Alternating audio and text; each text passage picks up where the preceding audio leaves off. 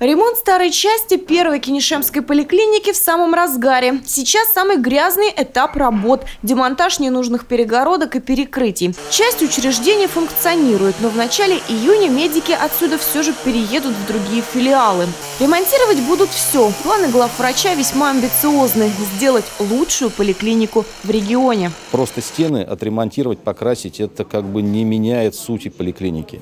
Поэтому мы подошли к этому достаточно серьезно, переформируем формируя практически все э, службы поликлинические, чтобы они находились в удобных местах для пациентов.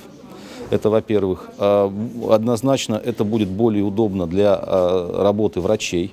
Э, то есть у нас блочно такая модульная система расположения кабинетов. В одном месте будут сосредоточены участковые службы, в другом – узкие специалисты. Здесь же женская консультация. Первая поликлиника обслуживает 45 тысяч взрослого населения Кинешмы района. На время ремонта участковая служба переедет на первый этаж скорой помощи.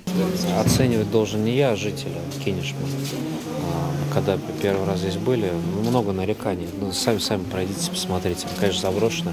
Кстати говоря, видно, что в советские годы не, не очень, как-то помягче сказать, человека подошли без человеколюбия, скажем так, аккуратно. Потому что для, для пациентов это не очень удобно.